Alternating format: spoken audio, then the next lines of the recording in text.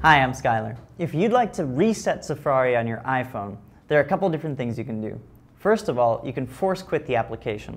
To do this, you press your home button twice, rest your finger on the app, and tap the red circle that appears. The app's just been force quit.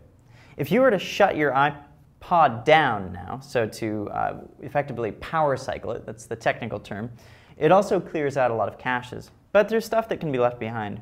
So go into Settings, scroll down,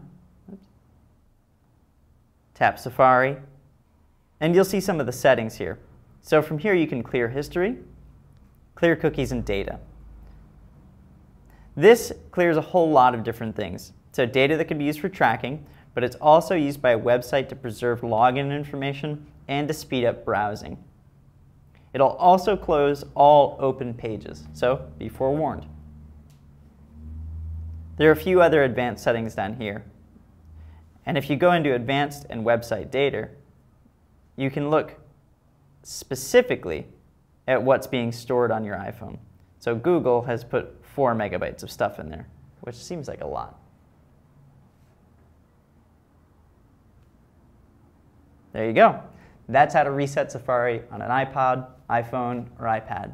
Thanks for watching. I'm Skylar.